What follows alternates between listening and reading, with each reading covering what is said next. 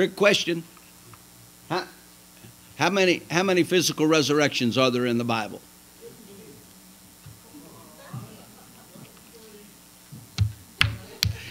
That's why I warned you, trick question. You did, you caught it quick though. You, you, you thought, oh no, wait just a minute.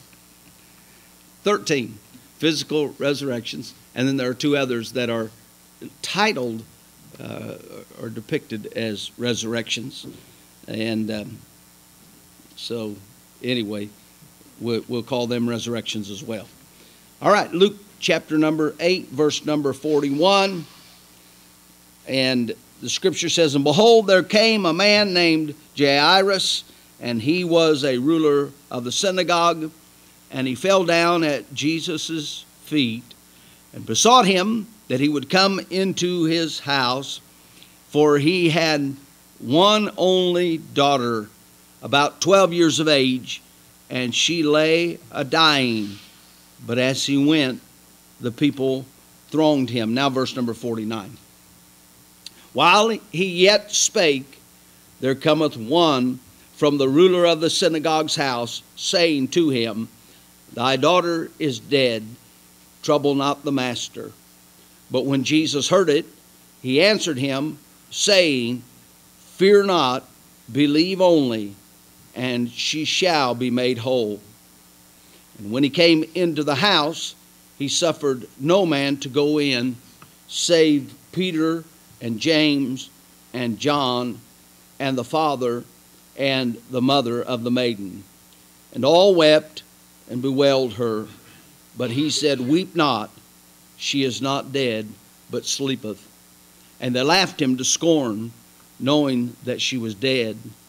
And he put them all out and took her by the hand and called, saying, Maid, arise. And her spirit came again, and she arose straightway. And he commanded to give her meat. And her parents were astonished. But he charged them that they should tell no man what was done. Who, who was in the nursery this morning? And Miss Brenda. So, Miss Brenda, I, uh, for your sake, everybody else has got this information, but I'm going to put this up here real quick just for. Uh, there, there are 15 resurrections in the Bible, 13 physical bodily resurrections, two other resurrections, and it breaks up like this. There are three physical resurrections in the Old Testament. There are three uh, performed in Jesus' earthly ministry. Then, of course, there's his, the Lord Jesus' resurrection. And then there are three other physical resurrections after Jesus' resurrection in that first century. Uh, and then there are three resurrections that are future, uh, yet to come. And then there are two resurrections that are not uh, physical or bodily.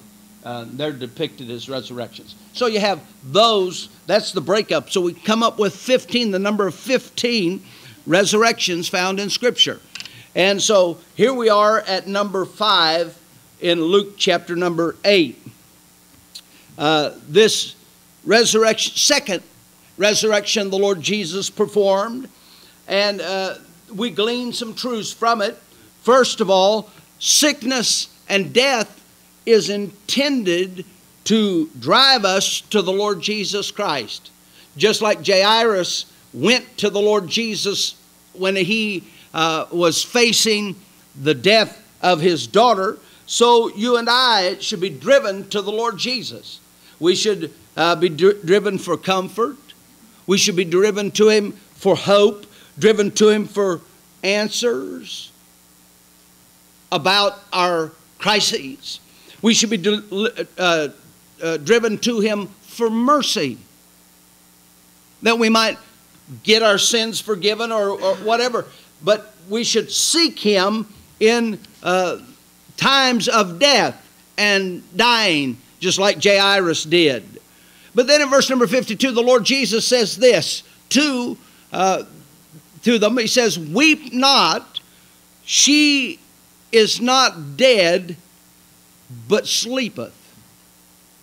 And I thought when we're thinking about resurrection, death and resurrection and these matters, uh, a good truth to draw from this text is that she is not soul sleeping. It's Jesus says she's sleeping, but that sleeping is always referring to the body only. Anytime you find that term, it's the body only. Uh, she is not totally unconscious. She's not in a, a, a, a, unconscious state for a period of time until the body is resurrected again. We know that is not the case. Uh, so sleep, get that. Sleep in the New Testament, when it refers to death, is always and only referring to the body. Okay? Uh, the soul is still very much alive. Miss Judy was just talking about how that Elijah, that he came back on the Mount of Transfiguration. There was the Lord Jesus during his earthly ministry. And we're told that Moses and Elijah both came and talked with Jesus. And Moses' body, I don't know where it's at, but he died. And Elijah, uh, we know that Elijah did not. He was taken up in a whirlwind. But still, you, you, you have someone who is, one who, of them has died thousands of years ago, and now they're visibly talking with the Son of God. There's no soul sleep. We read, listen to the passage in Luke chapter 16, uh, verse number uh, 22. You know the story about the rich man and Lazarus. And Jesus told about it, and he said this, verse 22 And it came to pass that the beggar died and was carried by the angels into Abraham's bosom. The rich man also died and was buried. The rich man died, his body is buried on earth. And it says, In hell, he lift up his eyes, being in torments, and seeth Abraham afar off, and Lazarus in his bosom. And he cried and said, Father Abraham, have mercy on me, send Lazarus that he may dip his, and so on. And so what's he doing? He's talking to him. He's talking to Abraham. He's communicating. He's not unconscious. His body's dead on the earth, but he's still existing. Like we talked about this morning, the definition for resurrection has to do with the soul coming back into the body. What we have is at death, the, the soul leaving the body. You, you say, well, what's your soul? It's you. Your body's just your house, Second Corinthians chapter 5. And so, uh, there are other passages. The thief on the cross, Jesus said, Today thou shalt be with me in paradise. His body crucified, but he will be, uh, uh, his soul is in heaven. So the body is one of these days going to awake, but in that intermediate period, when Jesus says sleep, don't adopt what the Jehovah's Witnesses doctrines teach. Don't adopt what the seven day Adventists teach. They all teach that there's a soul sleep, and it's not biblically accurate. It's not true. Resurrection number six the raising of Lazarus in John chapter number 11.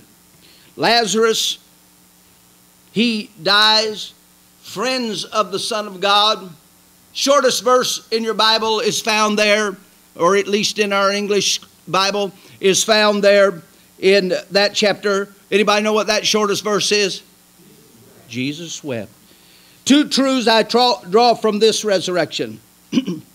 this resurrection demonstrates that Jesus is who he has been claiming to be because the Bible said there's a bunch of folks that believed on him uh, because of it. But then also the resurrection delivers Lazarus from corruption. He's delivered from corruption. Look at these verses here. It's verse number 39 and 43 and 44. Look at these verses in the 11th chapter. And Jesus said, Take ye away the stone. Martha, the sister of him that was dead, saith unto him, Lord, by this time he stinketh four days. And so uh, they didn't have embalming practices like we've got. So the body is drawing flies. It is uh, corrupting. It is stinking. For he's been dead for four days, we're told. Now, verse 43 And when he thus had spoken, Jesus, he cried with a loud voice, Lazarus, come forth. And he that was dead came forth, bound hand and foot with grave clothes, and his face was bound about him with napkins. And then Jesus said to him, Loose him and let him go. You do know that the, that the uh, Lazarus is corrupt. And, and yet the Lord is going to take all of that corruption away from him. Uh, that, that's going to be the case with you and I. You know, the Bible says in the book of Philippians that we have vile bodies. We do. We have bodies that are corrupting. We have we are under a curse. We are in a corrupt. The Bible says in Romans 8 that we're waiting the adoption, to wit, the redemption of the body. Now the body's been paid for and already bought. The Lord owns it. But one of these days it's going to get fixed. And that which he's purchased is going to be completed and fixed and transformed. And so that's the truth that I find in this John 11 passage that the Lord delivered him from his stink, I guess you would say. It, you won't have body odor up there in heaven, Aaron. Don't have to have body odor, you know. I mean, the Lord's going to fix all that. Everything's going to be fragrant and, and fun and, and fixed one of these days when we get to heaven. Seven, number seven, Jesus' resurrection. The Bible says in 1 Corinthians 15, I delivered unto you that gospel Jesus died for our sins and was buried and rose again the third day. He's up from the grave, isn't he? He's up from the grave. That Romans 1 says it's proof that he is the Son of God. His resurrection proves that he's the Son of God and that he's God the Son. Because he says in the Gospel of John that he raised himself. Nobody's going to take He said, I'll lay it down and I'll take it up again. He's the one who raised himself. He was seen of over 500 at one time, 1 Corinthians 15, and they saw him then not only for 40 days after the resur- resurrection, but they also saw him ascend back to heaven. And the resurrection is necessary tonight. It's necessary to fulfill the scriptures. Luke 24 says that it's written that Christ must die, be buried, raised the third day, and repentance and remission of sins is to be preached among all nations. And so it's to fulfill Scripture. It's written, it's already pre written, and you, He's just fulfilling Scripture. The resurrection is necessary to forgive sins. 1 Corinthians 15 17 says, And if Christ be not raised, ye are yet in your sins. Your sins aren't forgiven if, if Jesus isn't up from the grave. And the reason that you can be forgiven is because he's up from the grave. He's resurrected. He, uh, the resurrection is necessary to justify us in his sight. Romans 4:25, Romans 8:34, the Bible says he's raised again for our justification. So we can be justified in the sight of God. And then Romans uh, 8:34, who shall lay anything to the charge of God's elect? It is God that justifieth. If God's already declared you just in His sight, then if everybody else in the world condemns you, the most important has not condemned you. He's forgiven you and cleared you of all charges, we're told, because of the Son of God. And then the resurrection is necessary to impart the Holy Spirit to us. John 20, 22, he breathed on them and said, Receive ye the Holy Ghost. That's what he did when, after his resurrection, one of the first events is he's breathing on the disciples. Receive ye the Holy Ghost. And so uh, we uh, get the Spirit of God uh, imparted to. And then the Bible talks about us uh, having the new birth because of the resurrection. 1 Peter 1 and 3 said, Blessed be the God and Father of our Lord Jesus Christ, who hath begotten us again unto a lively hope by the resurrection of Jesus Christ. See, it's because he's resurrected. He's raised from the dead. The Son of God is raised from the dead that I can be begotten again. I can be born again. I can be birthed into the family of God. So, number eight. Are we making good ground? We're moving right on. We only got 15. we're over the halfway mark. Well, no, we're at the halfway. No, we're not there. There are three. There are three more resurrections after Jesus' resurrection uh, that that we see here in that first century. There's the raising of many saints. Matthew chapter 27. Matthew 27, verse number 52 and 53. Listen to these verses. Peculiar, very peculiar passage. It says, verse 52 and 53 of the 27th of Matthew, and the graves were opened, and many bodies of the saints which slept arose and came out of the graves after his resurrection, after Jesus' resurrection, and went into the holy city in Jerusalem and appeared unto many. The raising of many saints is the eighth resurrection in Scripture. We do not know whether these saints died long ago or more recent. We don't know. We don't know. I can infer and give all kinds of opinion. We do not know if they remained alive or died again. I could give an opinion. We do not know if it was permanent resurrection. We do not know who they saw in Jerusalem. We do not know why they went to Jerusalem. We do not know what they said to people that they saw. We don't know any of that. But we do know that it's true, it's a true historical event. Saints arose after Jesus resurrected. During that same time period, saints. The Bible talks in 1 Corinthians 15 about this Jesus' first resurrection as first fruits. The first fruits. First fruits are first pickings uh, in biblical language. And so uh, that is the promise of future harvest and future pickings. So it could be that just the there this is just the first fruit pickings in there at, uh, of Old Testament saints or something, and and I, I don't know. But they're first saints that are resurrected. They were saints, set apart ones, saints, hagios. It that is uh, redeemed people. Now, there is a problem.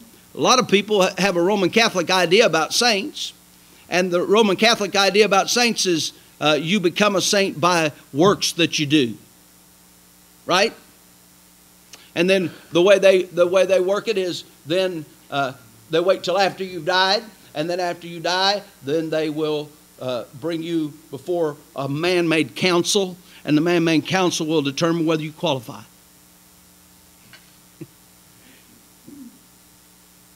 Let me use some modern language. Not. It's not that's not how it operates. You're not saved that way.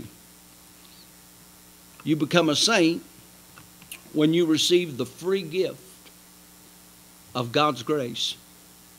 When you trust Jesus Christ as your Savior.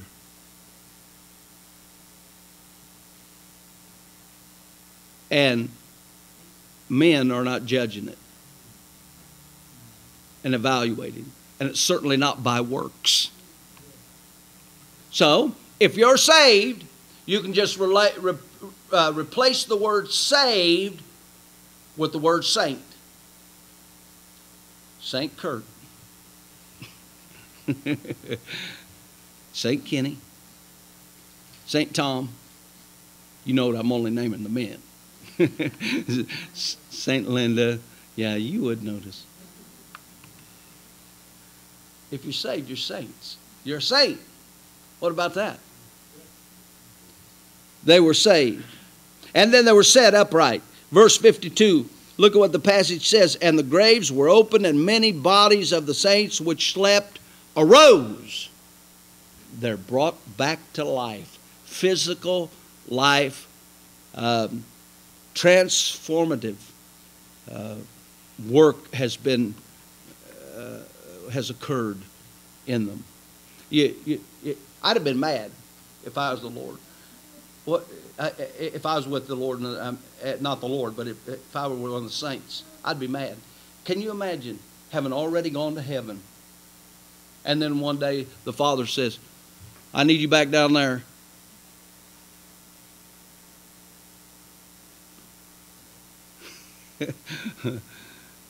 I, I want you to get back in that body, and we're, we're going to take a lap over in Jerusalem. And I don't know whether they died again or not. I don't know.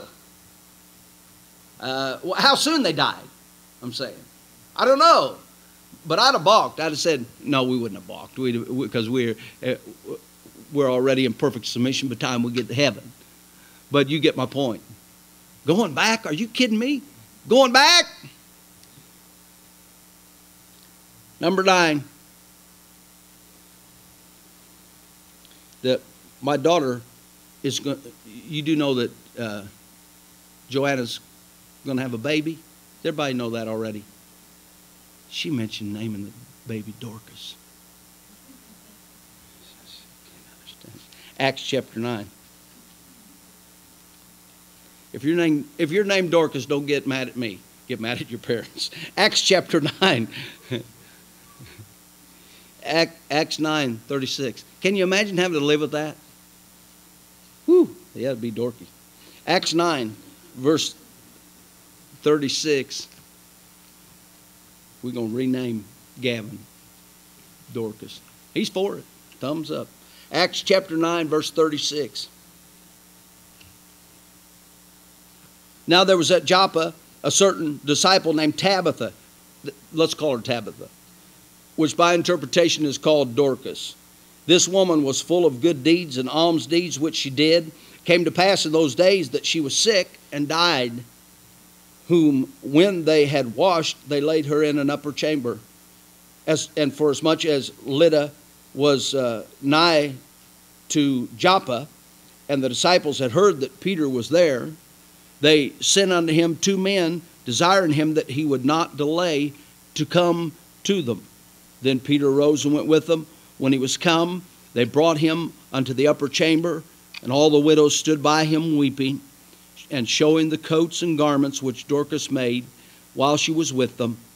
But Peter put them all forth and kneeled down and prayed, and turning him to the, uh, the body, said, Tabitha, arise.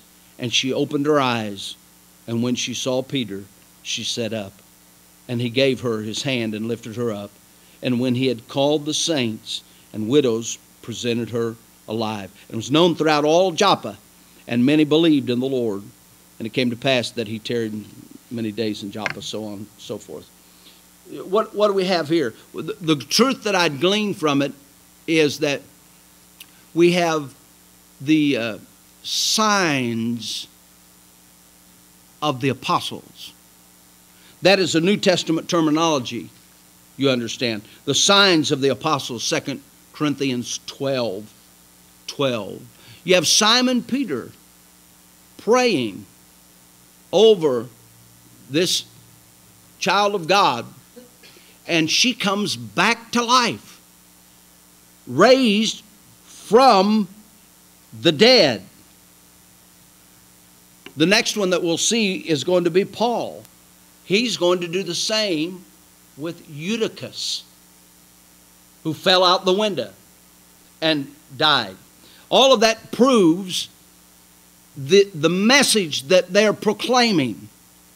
It's a sign gift that was given to the apostles, a sign gift. The book of Acts is a transitional book. And so you are moving away from Old Testament to New Testament you are God is finished with the temple. And now he's going to the church. He is finished with Old Testament doctrines. Many Old Testament, and now he's going to New Testament teachings. He is moving from Old Testament sacrifices to uh, the supreme sacrifice who has come, the Lord Jesus. And so, during that period, can you imagine? Can you imagine? You have been taught uh, Levitical law all of your life. And God gave it to the nation of Israel. And now, all of a sudden, here are these whippersnappers who've come along and they're proclaiming that is no longer what we're going by. Things are different. There's been a change here. We're not going to the temple anymore. We're not doing the feast of Passover annually and offering up the lamb. That's not what we're about anymore. And so they come with this message, and the Jewish year automatically turns them off as heretics. Saul of Tarsus declared all of them heretics.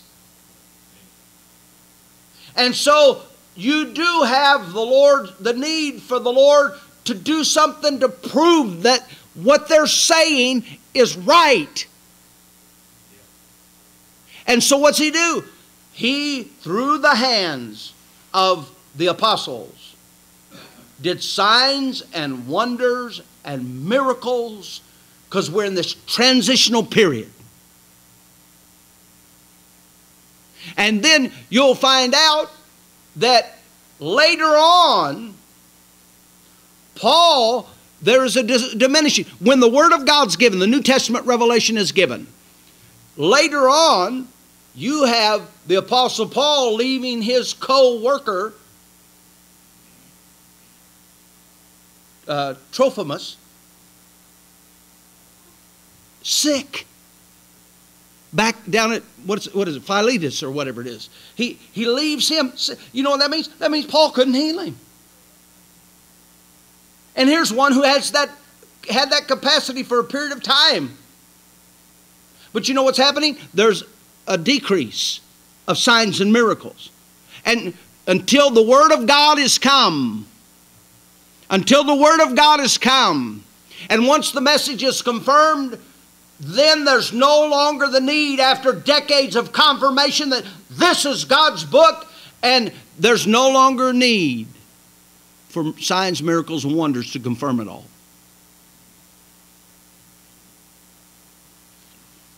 So that's the truth I catch from these book of Acts resurrections.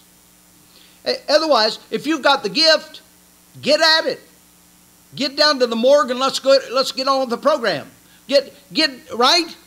Get to the hospitals. Let's have hospital ministry and just so whoever's got the gift, get down there to the hospital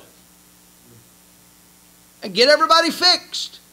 That's not what the Lord's about. It's clear. That's what TV preachers will tell you, but that they don't practice it. They just try to preach it to you so they can get money out of you. New revelation is coming, and God is confirming it with these raising people from the dead with the apostles' prayers and their hands touching them. Hebrews 2, verse 3 and 4. Listen to these. This uh, Hebrews 2, 3 and 4 says, For if the word spoken by angels was steadfast, and every transgression and disobedience received a just recompense of reward, how shall, uh, what I say, verse 3 and 4? How shall we escape when we neglect so great a salvation, which at the first began to be spoken by the Lord and was confirmed unto us by them that heard him? It was confirmed. You know how it was confirmed? Jesus also did signs, wonders, and miracles. Didn't he?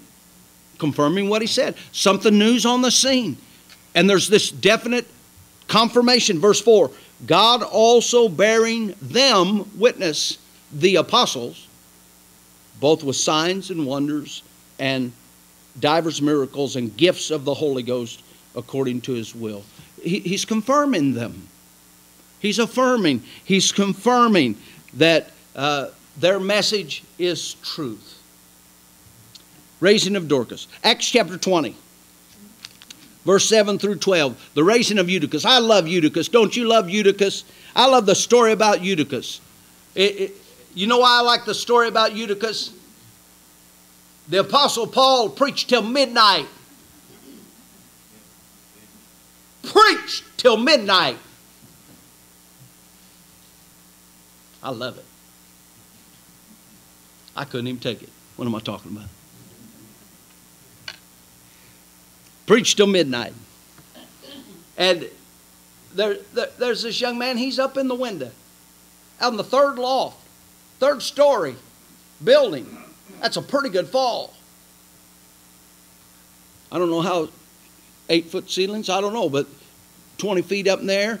Here he is, he's sitting in the window and he gets sleepy. Right? And he falls out. They dash down, the Apostle Paul and the others dash down, and the Apostle Paul goes down there and prays over it, and the boy comes to life again. He didn't, he didn't just have the wind knocked out of him, he's dead. And he was resurrected. But here's the part I like they come back in the building, preached till morning. he gave a little homily. That's the word from which we get teach in that passage, Ken, is the word from which we get the word uh, homiletic or homily. so he, he's teaching. The Apostle Paul is after the resurrection of Eutychus. What power of God I see here. I thought about how the Lord can restore our falls. He can. I thought about the danger of uh, being just half hearted. It's a great picture.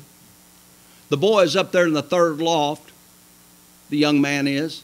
Paul's preaching, and he just keeps on going. And he says something like, All right, we got 15 points on resurrections today, or something, you know. And there he is sitting in the window, window open, and he's getting a little tired, which is common. Fella can only take so much. Right, Ken? You didn't fall asleep this week in meeting, did you? Wonder you didn't. You just it gets long. And all of a sudden the boy, you know what is? He's not in and he's not out. Right? He's a picture of those who aren't in and aren't aren't all the way out. They're not all the way in, they're not all the way out. Half heartedness, and it's dangerous for us to be half hearted, isn't it? Half hearted about church, half hearted about worship, half hearted about tithing, half hearted about living right, half hearted about praying, half hearted about studying your Bible and reading your Bible, half hearted about telling the gospel. The Lord wants us to be all in.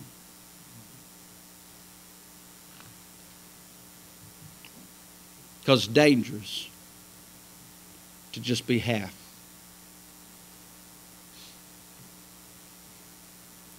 All right, that's 10. That was the raising of Eutychus. We only got five more. Can you hang on?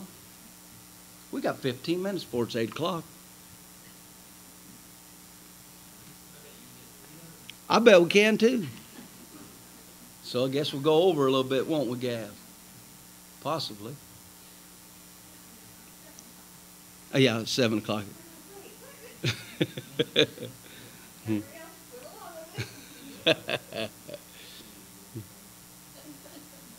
All right, we've got 10. We've got five more resurrections, three more physical resurrections, two others. For number 11, quit distracting me. We've got to go. The raising of the saved. There's the raising of the saved. The bodies of the saved will be resurrected and reunited with their soul one of these days. There's going to be resurrection. Uh, the Old Testament is uh, clear about the fact of the resurrection, but the Old Testament is not so clear about the time of the resurrections. Uh, when you read the Old Testament, on this subject, you'd think that all are resurrected at the same time. Right? Ken, like the amillennialists believe. They believe in a general resurrection. You get out there in those mountains, you get out in the mountains in the east, the southeast. There's so many general resurrectioners that it isn't even funny. They, they just believe everybody's coming up at the same time. And they have some Bible to try to verify their position. You know why? Because there are passages in the Old Testament that seems to teach that that's how it's going to operate. And there's a passage in the New Testament that teaches that seems to teach that that's how it's going to operate. Uh, look, look, look at a couple of passages with me.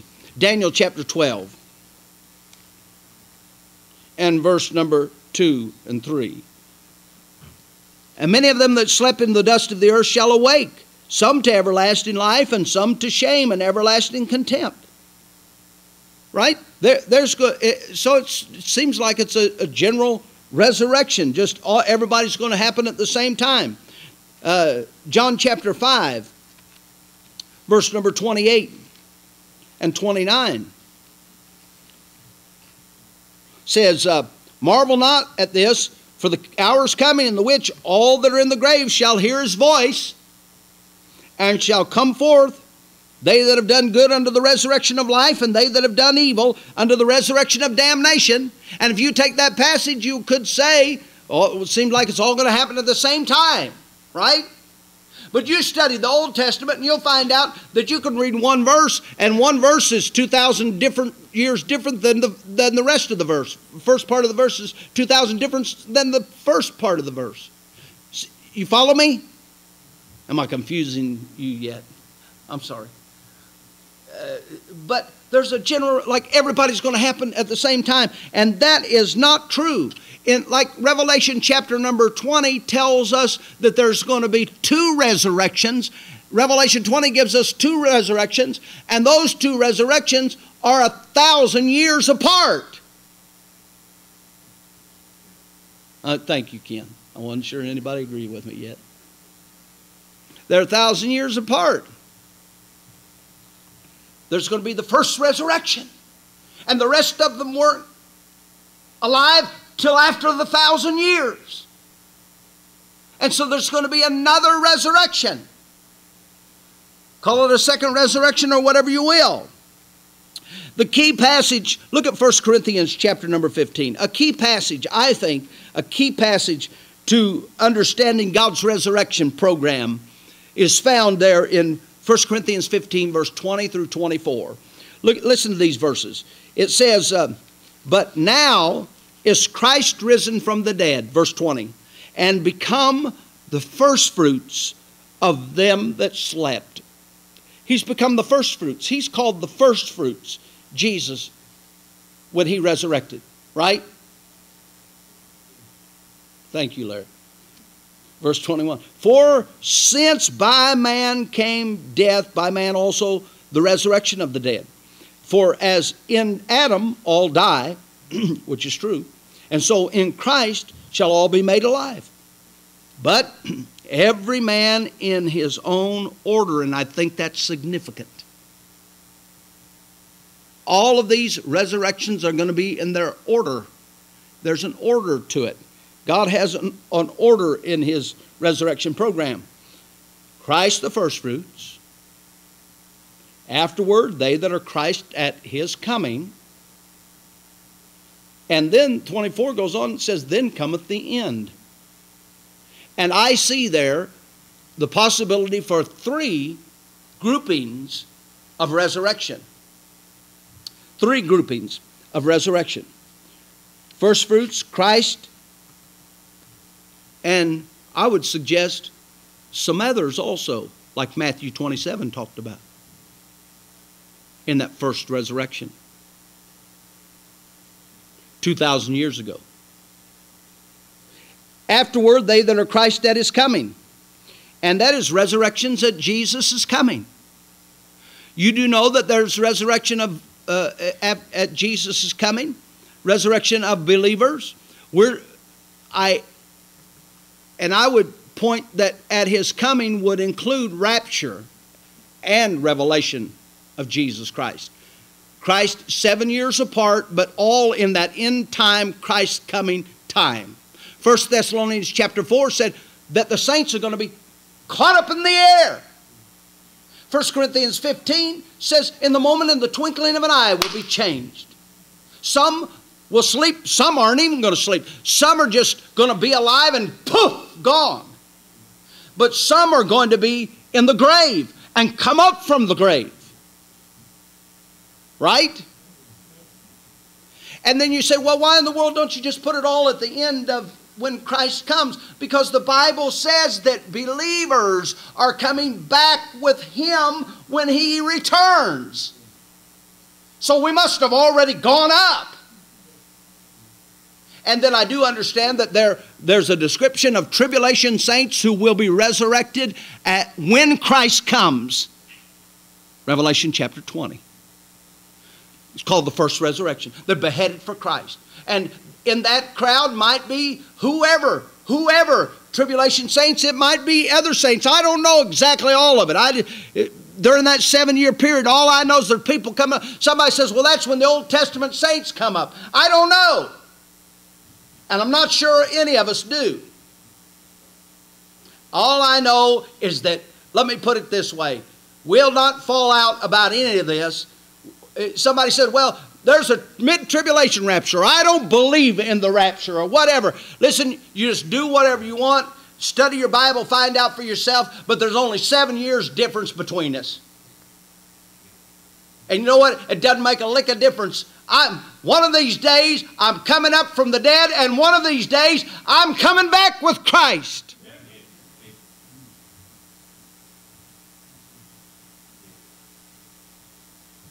And one of these days I'm going to be on this earth rejuvenated, changed. I'll be like the Son of God. Like Him in a glorified body. Jesus is the first fruits of a fruit of bodies that have never been before. You're talking about a different kind of body. It's described as a glorified body. It's described as uh, uh, absolutely, uh, what, what, what are the terminologies in 1 Corinthians chapter 15. Somebody help me. No, don't help me. Celestial body, spiritual body. It's called a body that, I don't know, I can't figure it out. Just walk through walls, don't need doors. You know, uh, never get sick. It, it is never a drag on your spiritual person. All, all of those things. Happy day, happy day when Jesus washed my sins away, so one of these days I can get fixed. Fully fixed. One of these days we're getting fully fixed. There's a raising of the saved. So, you say, well, what the Bible says that it's the first resurrection in Revelation chapter 20, the first resurrection. Well, I, I think the first resurrection is just the a first, the same type of resurrection. Uh, whether, whether it's the resurrection of those in Matthew 27, or whether it was the resurrection of at the rapture, or whether it's the resurrection of the tribulation saints, it's all the same type of resurrection. It's the first kind of resurrection. It is a body like the Lord Jesus, glorified. It is a category. It says some are going to be raised to life, resurrected to life, some will be resurrected to damnation. It, this is the resurrection to life bunch.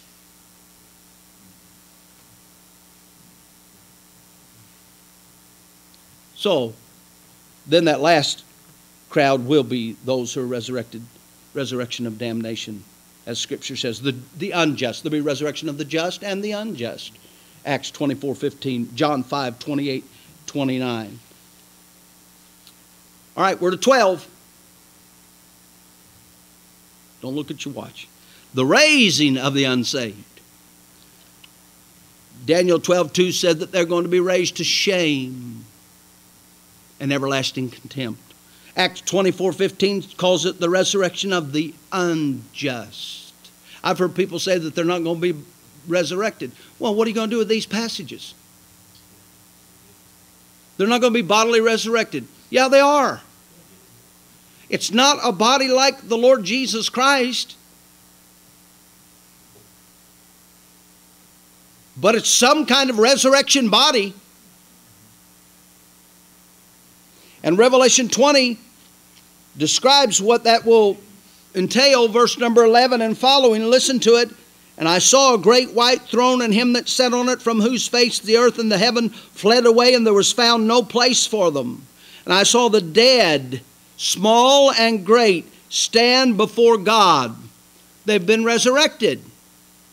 And the, this is the resurrection of the unjust. This is the resurrection to damnation, like these passages talk about.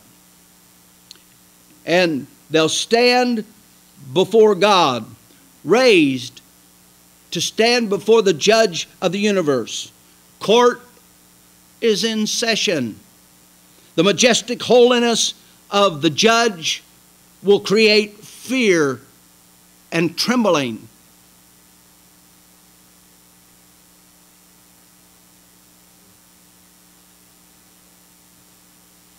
And the unsaved will be judged by that which God has recorded about them and about their lives and deeds.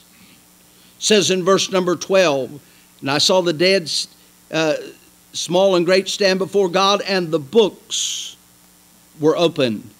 And another book was opened, which is the book of life.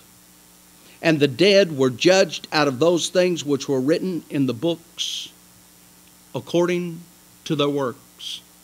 Salvation is never determined by works, but judgment is always determined by works. It is. Judged by what you do and don't do.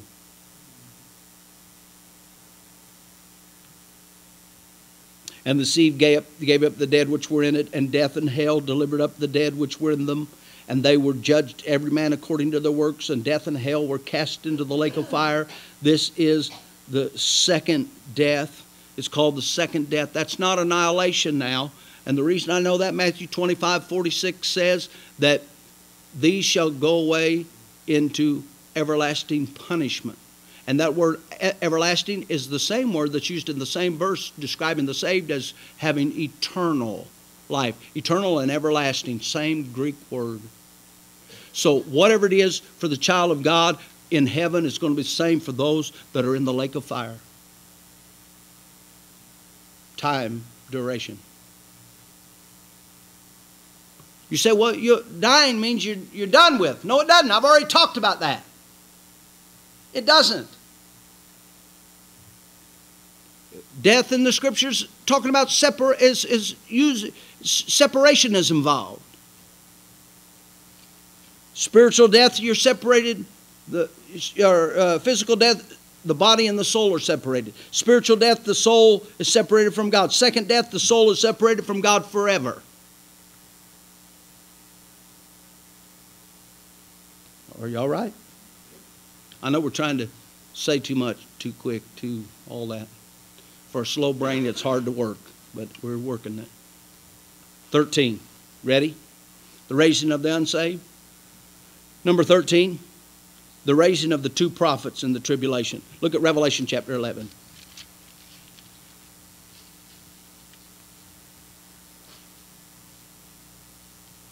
There are two prophets during the tribulation period, the great tribulation period, those seven years preceding the second coming of the Lord Jesus.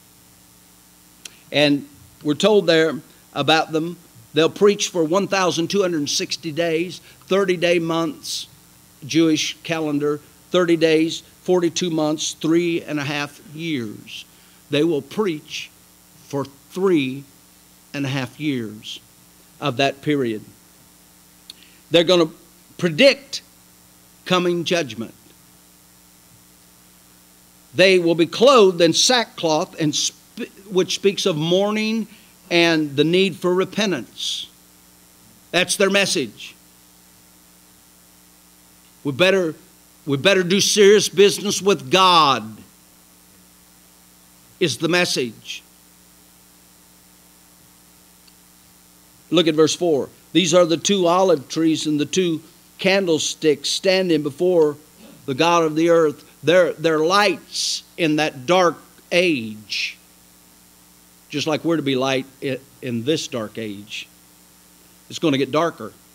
We think it's dark, it's going to be dark, really dark in those days. Verse 5 they have supernatural protection.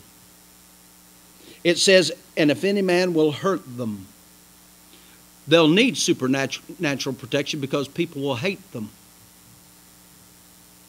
They'll hate their message. It says, And if any man will hurt them, fire proceedeth out of their mouth and devoureth their enemies. And if any man will hurt them, he must in this manner be killed. These have power to shut heaven. Now they're identified. Power to shut heaven. Who in the Old Testament had power to shut heaven? Yes, Elijah. That it rain not in the days of their prophecy, and have power over waters to turn them to blood, and to smite the earth with all plagues as often as they will. Who had uh, ability to turn water to blood and smite the earth with plagues? Moses. They're not named, but there's description. You say, well, is it, is it actually Elijah and Moses? I think it is. But if not, then they're Elijah and Moses like, aren't they? Verse 7 And when they shall have finished their testimony, whenever God said, All right, that's all I want you to say, that's enough. The beast that ascended out of the bottomless pit shall make war against them and shall overcome them and kill them. They're killed by the permission of their Lord. Right? Verse 8 And their dead bodies shall lie in the street of the great city which spiritually is called Sodom and Egypt, where also our Lord was crucified. Jerusalem is what it is. Their bodies shall lie in the streets. They didn't even give them a grave, didn't even put them away, didn't even hide them. Global cameras are going to be on the spot. The TV set's going to be all about look at those guys that badmouthed our systems and our souls and our sins. You're fine unless you mention sin. Eh, God's people are doing just fine until they mention sin and the need to repent of sin to get right with God.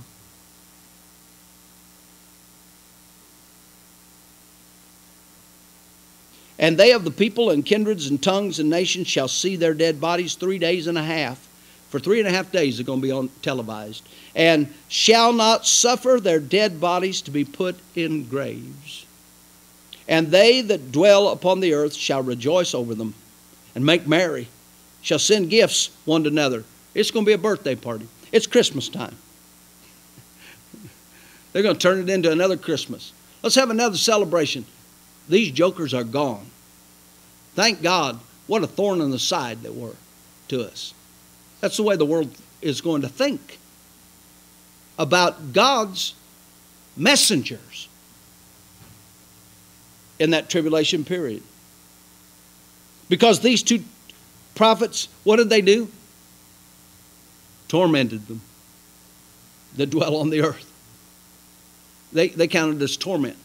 Oh, the preacher preaching just torments of fire out of me.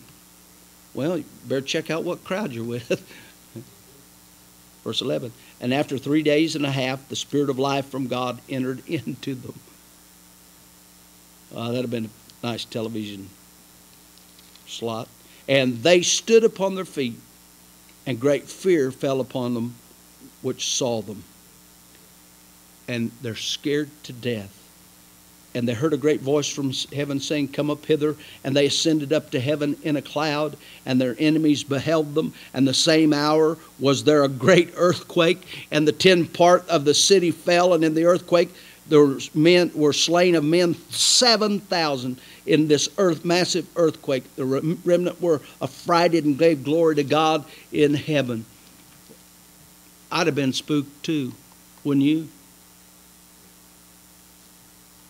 Here we are, we're cackling and laughing and mocking and ah, stupid old fogey Christianity. What in the world? Uh, dumb prophets. They, they're just ignorant. They should have known they couldn't survive our system. And all of a sudden, boom! They were up walking around after three and a half days.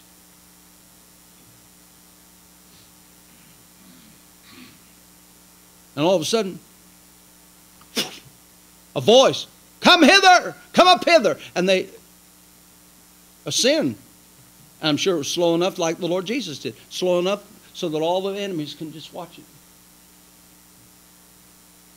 The cameras are, are Johnny on the spot. You know they are. They always are. But they weren't planning on this. There'll be enough. There's so many cell phones, they'll catch it. Won't they? Somebody will catch it. We have live footage. And then an earthquake. And 7,000 are dead because of it.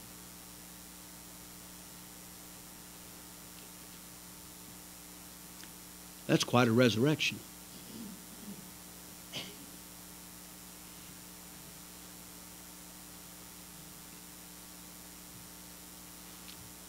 Those who unjustly mistreat God's people will one day see. Here's the tragedy they'll one day see that God's faithful children were right and they were wrong. As right as they think they are, as convinced that they're right as they are. One of these days they'll find out differently, won't they? There are the 13 bodily resurrections. Two more quickly. And I'll, I'll not take much time with them, I'll, I'll not go there. Uh, the raising of the nation of Israel is described as a resurrection in Ezekiel chapter number 37. Ezekiel 37 they're raised from the dead. Maybe I ought to read a verse or two there. Ezekiel 37. It says uh, that the hand, you, you, you remember the valley of dry bones, right? It says, And the hand of the Lord was upon me and carried me out in the spirit of the Lord, and set me down in the midst of a valley which was full of bones, and caused me to pass by them round about. And behold, uh, there were very many in the open valley, and lo, they were very dry. And he said, Son of man, can these bones live? And I answered, O Lord God, thou knowest. Again, he said unto me, Prophesy upon these bones, and say unto them, O ye dry bones, hear the word of the Lord. Thus saith the Lord God unto these bones, Behold, I will cause breath to enter into you, and ye shall live. I will lay sinews upon you, and will bring up flesh upon you and cover you with skin, put breath in you, and you shall live. And you shall know that I am the Lord. So I prophesied and was commanded as I was commanded. And as I prophesied, there was a noise, and behold, a shaking, and the bones came together, bone to his bone. And when I beheld, lo, the sinews and the flesh came up upon them, and the skins covered them above, but there was no breath in them. Then said he unto me, Prophesy unto the wind, prophesy, uh, Son of man and say to the wind, Thus saith the Lord God, Come from the four winds of the breath, O breath, and breathe upon these slain, that they may live. So I prophesied as he commanded me, and the breath came into them, and they lived and stood up upon their feet, an exceeding great army. Thus he said unto me, Son of man, these bones are the whole house of Israel. Behold, they say, Our bones are dried, and our hope is lost. We are cut off for our parts, therefore prophesy and say unto them, Thus saith the Lord God, Behold, O my people, I will open your graves and cause you to come up out of your graves and bring you into the land of Israel. And you shall know that I am the Lord when I have opened your graves, O my people, and brought you up out of your graves, and shall put my spirit in you, and you shall live, and I shall place you in your own land then shall you know that I, the Lord, have spoken it and performed it, saith the Lord. What do we have here? The people of Israel were dispersed, right? It's, it's called the diaspora. It, they uh, were uh, dispersed early. The Assyrians overpowered the Babylon, northern kingdom, southern kingdom, overpowered them, and they were then buried among the Gentiles. AD 70, Jerusalem destroyed, dispersed among the nations. Israel. But there's going to be a resurrection. Romans 11 says, when the time of the Gentiles is fulfilled, then all Israel shall be saved. Let me say, in um, uh, May 14th, 1948, there was the establishment of the Jewish state in the 20th century. In our lifetime, some of our lifetimes, uh, it, it, it, was established. Uh, and that is just a national uh, resurrection has taken place, not spiritual. They have no spiritual resurrection yet. But you know what? They're going to. During that great time, there's going to be multitudes of Jews born into the family of God and believe on the true Messiah, the Lord Jesus Christ. They're going to be saved. It's the time of Jacob's trouble. It's also the time of Jacob's conversion.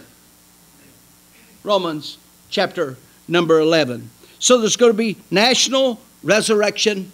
The nation's going to be resurrected. It's already resurrected to some degree. But the bulk of the fulfillment, if you read the rest of chapter 37, is in the millennium. And, and it talks about all the stuff. And the word of the Lord came. We, we, we don't have time to talk about it all. But the idea is that there's going to be no more idols in the land and uh, that uh, uh, they're going to dwell in the land that I've given unto Jacob my servant. And they shall have children I'll make a covenant of peace with them. It's an everlasting covenant. I'll multiply them. I'll set my sanctuary in the midst of them, and so on. And uh, the heathen shall know that I, the Lord, do sanctify Israel. And there's coming a millennial blessing, and Israel as a nation is going to be directly blessed and resurrected. Fact of the matter, he says, the chapter says that David's going to rule well, what are you talking about, Ezekiel? David's long gone. Oh, no. There's the descendant of David who's going to sit on the throne of David. And his name is Jesus Christ the Lord, and rule and reign out of Jerusalem. So there's going to be a national resurrection. It's a, it's a resurrection, depicted as a resurrection, isn't it? 15. The final is the raising of those who are spiritually dead. It's not a physical resurrection, but is, it is a spiritual resurrection.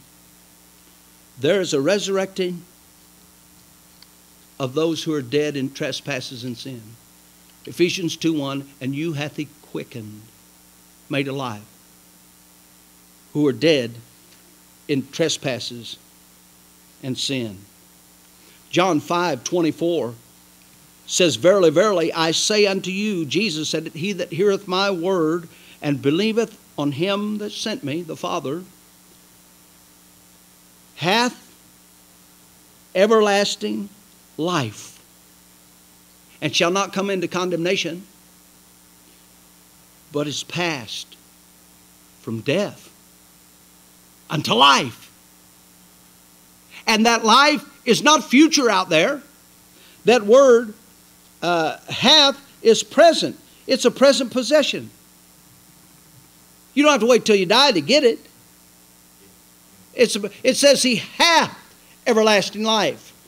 Hath. The word is past. That word past, Zodhiates uh, points out that it's a perfect tense, which means he, he defines it. He said, it describes an action that took place in the past that is, that is uh, the result of which have continued into the present. Something that's happened in the past, the result is into the present. He hath, something's happened. And now you've got everlasting life. And it's not after death, it's now. In this life. You get the life of God birthed into your soul and you were dead to God previously, dead to God. Now you've come alive. That's the new birth. That's spiritual resurrection. Uh, Colossians 3 says, If ye be risen with Christ, seek those things which are above. You say, well, I was resurrected whenever Jesus, maybe that's what the pastor's talking about. It might be talking about that just whenever you got saved, you were raised with Christ. Raised up, new life, spiritually resurrected. Who has this life? It says, those who hear and believe, those who hear the gospel and believe on the Lord Jesus Christ. They are saved. And the promise is they shall not come into condemnation. You know, there's no condemnation for the believer. You know why? Because all of it fell on a substitute. And his name is Jesus Christ the Lord. All of it fell on him at Calvary. So now there's none for me. I'm glad God's plan worked it just like that. Let's stand.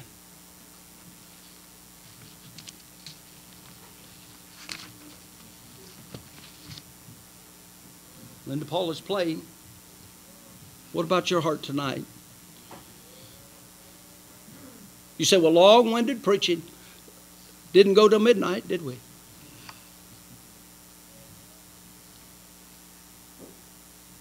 It's good for us to fill our minds with the Word of God.